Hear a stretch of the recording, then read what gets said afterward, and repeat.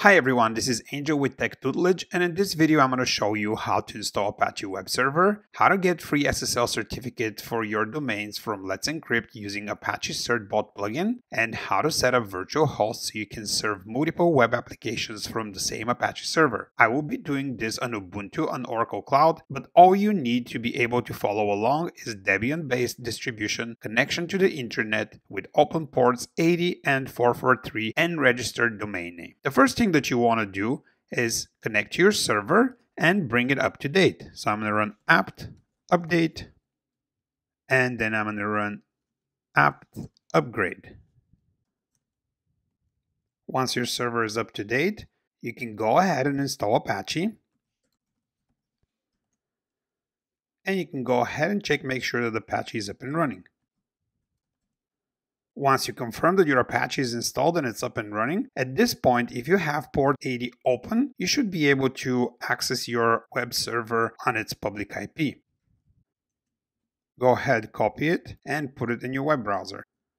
In my case, I'm getting an error here. It says connection refused, which most likely suggests that my port 80 is not open and my computer is not listening on it. So what I'm going to do is I'm going to go to my IP tables and I'm going to open that port to make sure that my server allows connections on port 80. So I'm going to go to etc IP tables rules version 4. And in here, I'm going to add two lines. I'm going to copy and paste the one from port 22. And instead of 22, I'm going to say 443. That will be for my HTTPS traffic and 80 for my HTTP traffic. I'm going to go ahead and save. And then I'm going to go ahead and reload the config.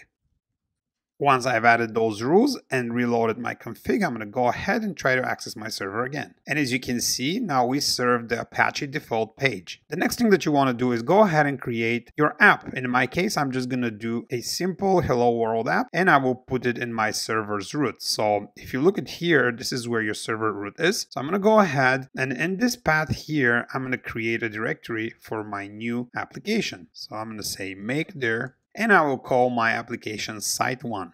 Then the next thing I'm going to do is I'm going to create an index file for my application in this index file, I'm just going to copy and paste here just a basic HTML that it will just give me a title site one. It's going to say hello world and hello world from site one. I'm going to go ahead and save this. And the next thing that I'm going to do is I'm going to go ahead and I'm going to change the permissions on my web application. That way the web server owns that application. I'm going to go ahead and run this command. Once I have that done, I'm going to go ahead and create a virtual host for my application by running the following command. And this is what the content of my virtual host will look like. I'm going to copy and paste it so it saves some times, but basically what we're telling here is the document root for our application is here. This will be my server name, my domain name. That will be site1techtutelage.net. And then here I'm given some directives for how to handle the, that directory. And in this last two lines are telling me where to send my logs. Then I'm going to go ahead and save that. And I'm going to go ahead and enable that application. So to do that, I'm going to run the following command.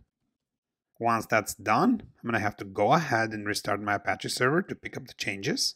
Once my Apache server has been restarted, I'm going to go to my DNS registrar. In my case, I'm using Namecheap and I'm going to create a DNS record here for my application. So if you're using a different registrar, you're going to have to follow their procedure. But if you're using Namecheap as me, all you have to do is go here and click on add new record and it will be an A record since I'm going to be pointing to an IP address. For host, I'm going to say site1. And for IP address, I'm going to give it my public IP address, which was again 129.153.11.219.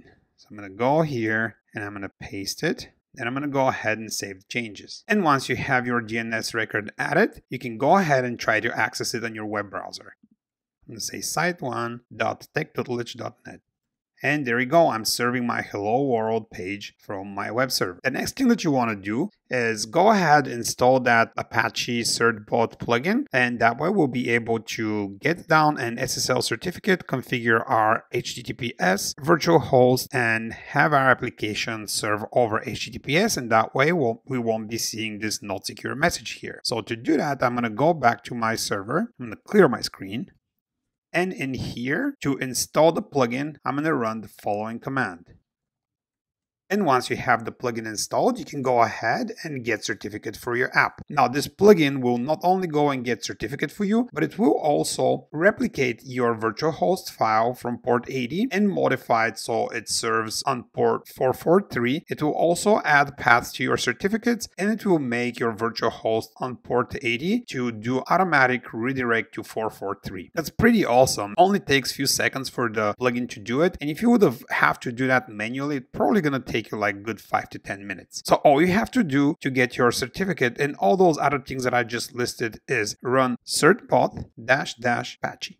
Then you'll be asked for an email address. Then here you're going to have to agree. So you can do Y and enter. And here I usually say no. And here it asks you uh, which domain names do you want to get certificates for and activate HTTPS. And in our case, we only have one. So all I'm going to have to do is hit enter. But if you have multiple ones here, you can select the one that um, you want to activate HTTPS for and get certificate for. So I'm just going to go ahead and click enter here. And it will take a few seconds and it should do everything for you automatically. And there you go, it's all done. So now if I go back to my web browser and refresh this page, it should automatically redirect me to HTTPS and show here a valid certificate. And as you can see, I got redirected to HTTPS and I'm getting a valid certificate. Now, the next thing that I want to do is I'm going to go ahead and show you how to set up a second web application on your server and how to make it so your Apache serves two applications from the same server. So I'm going to go ahead here and go back to Namecheap and I'm going to create another DNS record.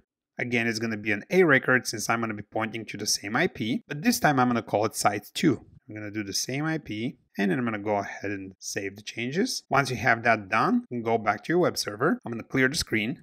And in the web server, we're going to create a new document root directory for our new site. I'm going to copy and paste here so it's a little bit faster. So we're going to create a directory for site 2. And the next thing we're going to do is like we did with the first app is we're going to create an index file and if you're uploading your own application you probably know you basically you upload your app in there we're going to create an index file and in that index file we're going to put our html code again, just basic HTML with a title and a header and some paragraph of text that says hello world from site 2. Go ahead and close that and save it. Then as we did with our first web app, we're going to go ahead and change the permissions so our web server owns the new application. Then the next step would be to go ahead and create a new virtual host file for our new application. And we're going to put the exact same directives that we did in our site 1, except with the only difference is here that we're changing where our application is. Instead of site 1, we're going to say site 2 on these two places. Oh, and here for the server name, our domain name will be site2.techtutelage.net. So you're going to go ahead and copy this